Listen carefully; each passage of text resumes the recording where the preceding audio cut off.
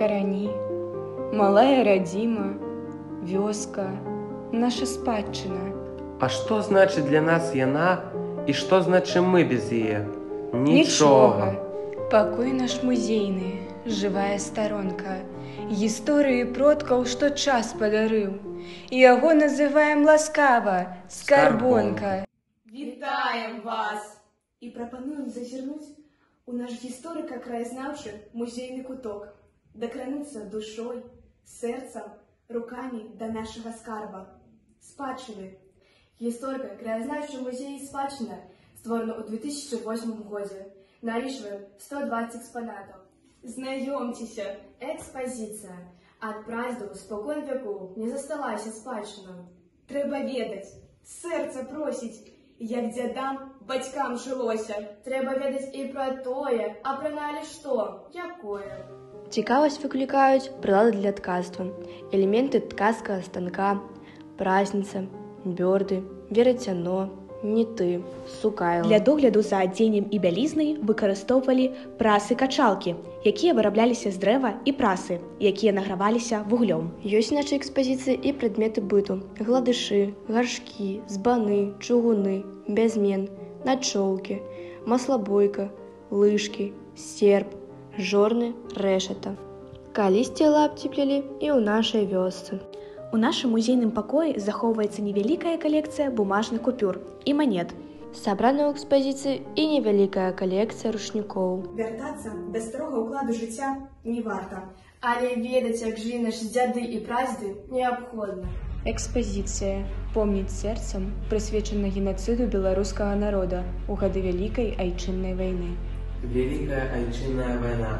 Амаль 4 гады, 1418 дзён і начэй, гора, пакут і смерці. Зруйнаваныя гарады, спаленыя вёскі, абарваныя лёсы людзей. Зямля, не ведала ты мусіць, такіх пакут паміж вякоў, а колькі легла ў Беларусі, тваіх дачок, тваіх сыноў. Чатыры гады вайны. Гэта кожны трэці загінуўшы жыхар Беларусі. 209 гарадоў. 11 726 вёсак былі ператвораны ў руіны. Здзейснена больш за 189 карных аперацый. Свет у стагоддзях не памятае такіх злачынстваў. Вы чулі, як у хатыні звоняць каміны. Кроў у жылах стыне, як слухаеш свае званы. Кроў у жылах стыне, слухаеш і маўчыш.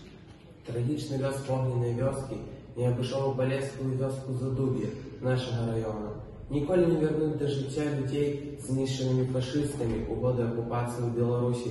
У памяць аб іх кветкай жывой паламнее. Вечны агонь памяці, вечны агонь мужнасці. Вечны агонь вернасці. Для таго, каб ушанаваць памяць аб тых трагічных старонках вялікай айчыннай вайны, якая закранула сваім чорным крылом і нашу родную вёску, вучні нашай школы разам з настаўнікамі стваралі экспазіцыю памяць сэрца. Тут размешчаны стэндавы матэрыял, вялікая айчынная вайна, генацыд беларускага народа, без тэрміну даўнасці, карты спаленых вёсак Беларусі і брэскай вобласці. А таксама сабраны дакументальны матэрыял, які дазваляе стварыць аб'ектыўнае ўражанне аб удзеле нашых землякоў у вялікай айчыннай вайне. На экспазіцыі прадстаўлены асабістыя рэчы, дакументы і ўспаміны.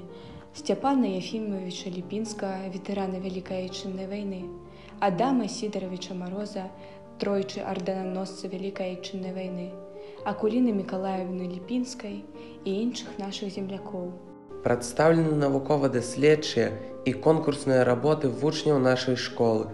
Сабрана сучасная унікальная літаратура, якая прысвечана трагічным старонкам вялікай айчыннай вайны. Услухайся водгаласы нашай мінушчыны. Ты пачуеш галасы продкаў, гул бітваў за волю. Ты ўявіш людзей, якія не толькі аралі сеялі, але і са зброю ў руках абаранялі сваю айчыну.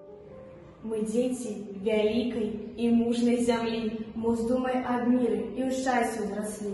Мы клічам на свеце з'яднацца сяброў, каб поламя бойкі не ўспыхнула зноў. Сёння ў нас думы абны.